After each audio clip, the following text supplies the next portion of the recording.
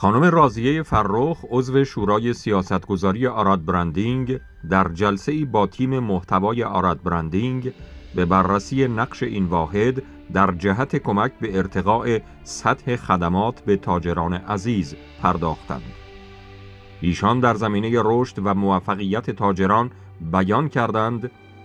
هر تاجر می تواند با کمک سایت و محتوای خوب به حد اکثر درآمدی که می خواهد برسد و با محتوای درست به جذب مشتری ها برسد. خانم رازیه فرخ همچنین افزودند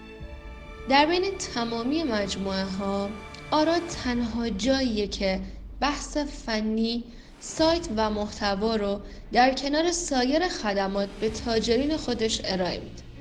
و این نشانگر این نکته است که آراد از عمق وجودش خواهان رشد تاجران و خدا رو شاکریم که در این مسیر قرار گرفتیم. ایشان در پایان از زحمات بیدریق و دلسوزانه همکاران عزیز در این واحد تقدیر و تشکر کردند.